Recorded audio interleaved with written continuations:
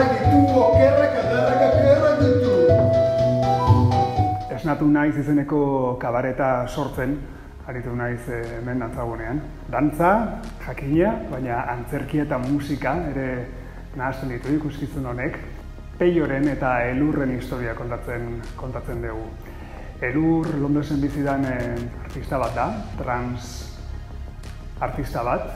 E, bere horiko ikuskizuna du de Pink Flamingo bizuneko klub batean, baina egun hartan ezin du aurrera egin. Du aurrera egin ez zerbait gertatu zaiolako.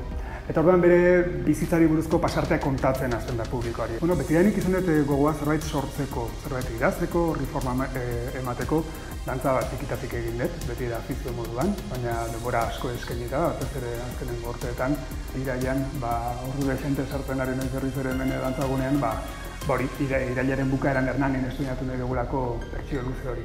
Ikuskizun honetan batez ere, bueno, gauza asko, gauza askori buruz hitz egiten dugu, ezta? baina batez ere nortasuna, genero kontuak, e, sexu joera ezberdinak, hori identidadea, ez da? Gero kritika bat ere egiten da e, Euskal Herriko gizarteari eta herritikieteko gizarteari. Nabarmendu nahiko nuke, e, dantza koreografietatik aratago, hemen dantzagunean ensaiatu izanak, niri asko bali izan dira baita ere, personajen mugimendua ere arakatzeko, bilatzeko eta finkatzeko batez ere